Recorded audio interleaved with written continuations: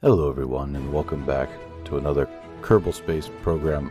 Pick, pick, picture time, story, story time, picture time. It's oh shit. Um, it's really early in the morning. I have to get ready for work, but I wasn't able to do anything yesterday for a video today. So this is gonna have to be a raw, unedited cut. And I thought maybe it would be kind of cool just to strum through some pictures of your favorite game. Now, okay, so these are obviously from the career 10% science mode. I love the snow though. I just wish that it wasn't so deep that they couldn't, you know, that they were literally buried in it. Even even though the berryness of the snow is cool, it'd be nice if, uh, you know what I mean. I don't have to explain myself. Okay, there's, there's a, yeah, sure. There's a, uh, that's a, that's, there it is. We all know who this is. This is the badass little orange uh, science plane. And of course, that was the very first Orion uh, attempt for a passenger SSTO. That is not 10% science mode. That is when we uh, did the whole decal for uh, the shield, the um, heat shield, which I thought was pretty cool. Ooh, that was the first attempt for a moon, moonshot. Remember that video? And there it is. Boy, that thing looks crazy. I mean, it got to the moon. Yeah, just didn't have enough delta V to land and take off. Oh, there's a newer Orion with the passenger and stuff. It's got a little, I don't know if you can see that. It's got the little heat shield thing going on right there. That was the attempt of a hovercraft to land on top of the buildings and get science. I heard a rumor that you could get science landing on top of the buildings, so I tried it out. Eh, some of them, some of them are like that. Not all of them. Hmm. That was before we had elevons or any way to control the craft other than reaction wheels. Sort of worked, not really. This was the second attempt, Luna 2. I don't think this one landed on the surface. It still didn't have enough delta V, so there you go. I think that one, did that one land? No. This one got close to landing, but it didn't quite land because of the fact that I wasted too much fuel trying to get to the moon. You have to remember this is 10% science mode, so and it's career mode, so the um, we don't have maneuver nodes, or at least we didn't back then. So we had to kind of guess where we were going. Sometimes we'd guess wrong, and we'd end up burning a lot of fuel just getting there. This was going to be a thing. It was going to be the first passenger SSTO, but again, I didn't have enough science to unlock um, elevons and stuff, so that was a no-go. Selfie on the moon. This is when we finally landed. Yeah, version 3. Oh, maybe it is. Maybe we did land on that one. Hold on. Back up, back up, back up, back up, back up, back up. Oh, up, up, too far. Yeah, because these came off. These were these were these were on um uh decouplers and they, they came off. And so the bottoms would be the bottom of the craft would be flat, and sure enough, there it is. Okay, so yeah, we did make it to the moon apparently. Uh, just having memory problems here. Very cool. Yep, very cool. Uh, yeah, if I remember correctly, we did make it to the moon, land for the first time, and then mosey on back to Kerbin. Nice. That was the cursed flight. If anybody, if everybody remembers that, and it looks like that's it for this column of pictures. I have to, you know, I have to put more in there. But let me go ahead and back out of here. Okay, so aircraft. Holy shit, this is old. We're about four minutes in. Look how old that is. Um, oh, wow. That was the original cockpit for the space shuttle in KSP. This is a really bad attempt of making a helicopter back in the day before. Remember, we, I mean, look, uh, look at this. Is that, that's huge, right? Is that huge?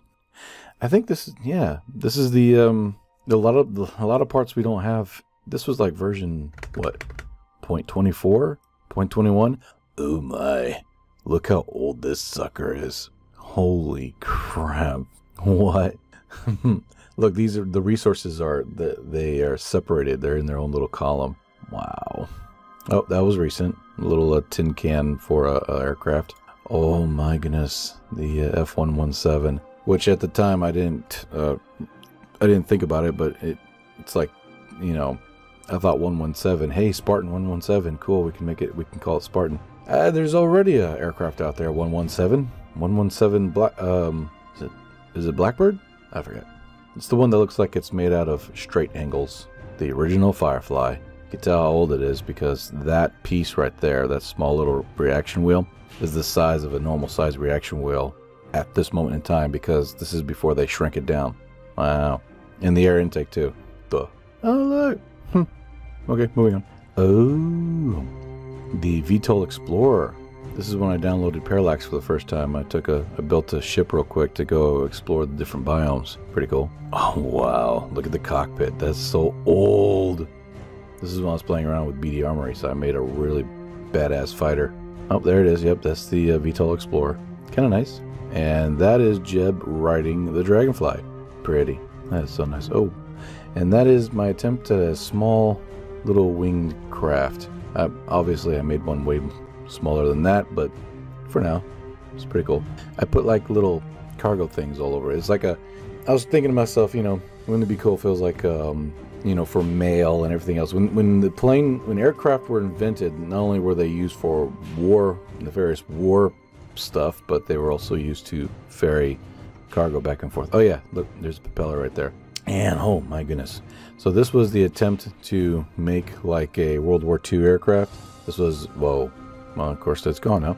This was before we had propellers. So the aircraft was actually uh, powered by a whole bunch of little ant engines. Hopefully we can see more of it here soon. That's the VTOL for um, old career mode.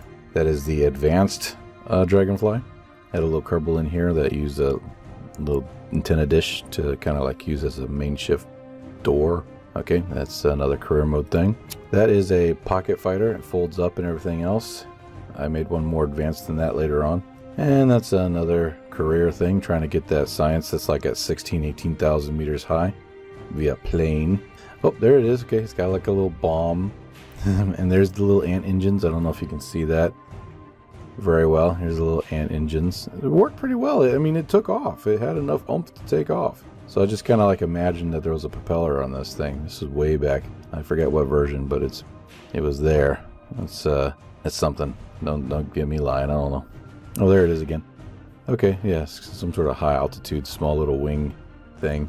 Doohickey. Holy shit! Look at that. That is huge.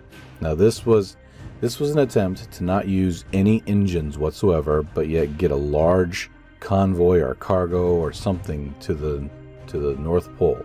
So I built I built propellers using the whole um, for the new people who who are into KSP. Back in the day, before we had propeller parts, we would use a type of trick technique that would have a another it would have like another craft spinning within another craft.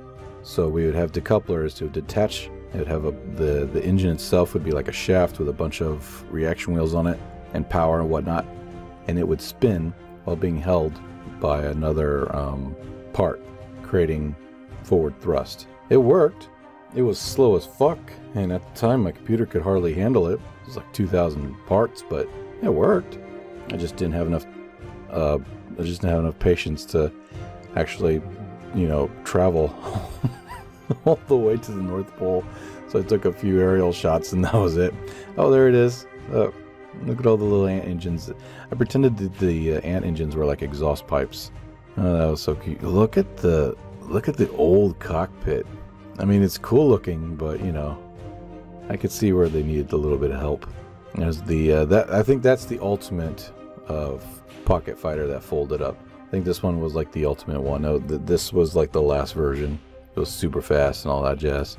Even had guns, pew pew. Well, not you know, yeah, firework things. This right here was an old fighter, and it actually had a homemade seat in it that would this top would pop off and it could eject the Kerbal. And if the Kerbal stayed on the seat, it had the seat had a little parachute, just like uh, in a modern fighter ejection seat. That is the more advanced Firefly. It's even got little missiles, homemade missiles. I call it homemade. It's stock, right? And of course, these these came up to reveal the cockpit inside. Oh, there it is. There's a picture. Yep. So there's Jeb, little cockpit in there. It's pretty good. It's, yeah, it is all right. Oh, there is a uh, passenger craft for career mode. That's pretty. Yeah, I finally was able to go back and rebuild this and use the color mod to really make it shine, but it still looks pretty good. Mm-hmm. Very nice, and it worked very, and it worked well too. Just worked like a regular uh, airliner.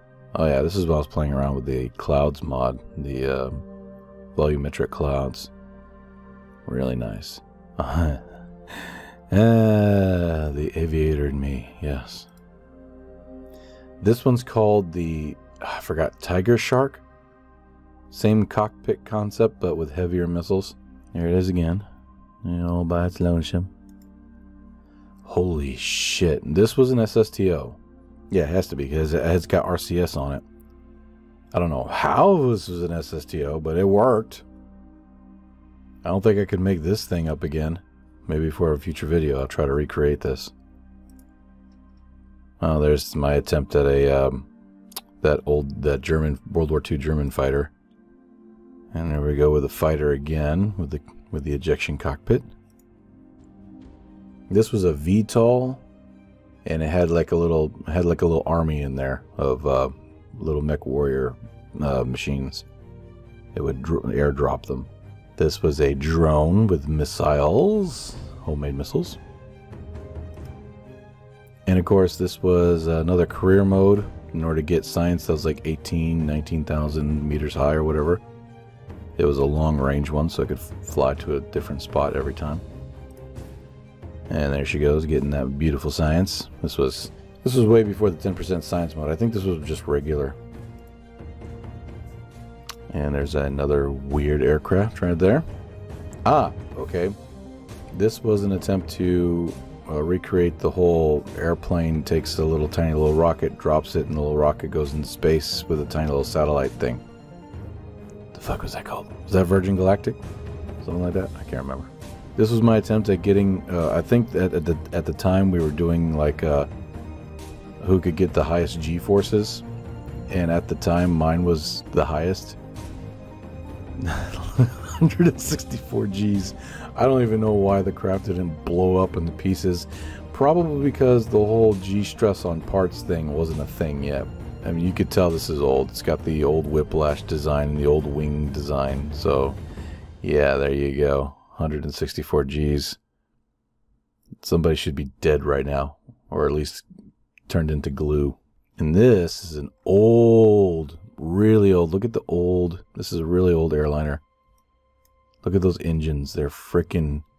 And then and look at the back wheels because we didn't have the big landing gears yet. All the landing gears were just one size. that is. Boom. Mario. Oh, there it is. Yep. Even. Wow. You know, I remember when I made this. I remember when I made this. Um, somebody, somebody had a temper tantrum in the comments saying that I copied them. Oh, you copied me. Da, da, da, I remember that. Somebody had a big old temper tantrum, and luckily I didn't have to say anything because um, my audience kind of jumped on his case, like, "What the hell are you talking about?" He even uh, at the time when Twitter was a thing, he even got on Twitter and was like, "Look, he's copying me," and he showed his version to my version, and his version looked nothing like my version, right? Except for the fact that it had, you know, the elongated fuselage with the three engines. And I'm going, I'm looking at him like, dude, it, we were copying off of, we're, we are literally copying off of aviation of airliners, so it, they probably are going to look similar, but he wasn't having it. That was funny.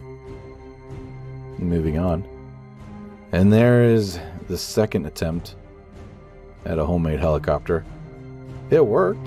Don't get me wrong, it worked, but it it now knowing what I know now, if I went back in time and tried to do something, I think I would have made a way better one, but this was of course new technology. People were trying to make helicopters in KSP and this was kind of like my version. It would use engines to spin around and create lift. It worked, like I said, but it was janky as hell. That's the interior of a SSTO, actually. Yeah. Well, maybe not. I can't remember. I don't think it had enough to get up there. Oh, look. That's when they added helicopter parts and whatnot. And I went to town on it. Ooh, silent but deadly. Like a fart. And that is a really cool fold-up um, pocket fighter. I liked that one the best, to be honest. It was really cool. Kind of reminded me of Star Wars. There she is again. VTOL. Yep, VTOL and everything. Pretty much like a little transformer. Ooh, the bomber.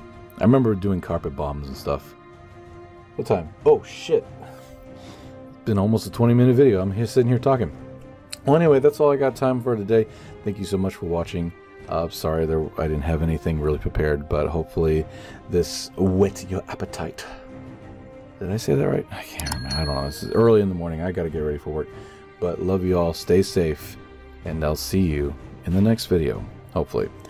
Since tomorrow's Thanksgiving over here in the States, there's going to be a lot going on, but I will try my best to get out there so the algorithm doesn't drop me again. Anyway, bye for now. Have a great day. Bye bye. Uh, bye bye. Bye bye now. Bye bye. Get out of here. Go. Get out. Move. Move. Um, a lot of people didn't like the last video that I put out.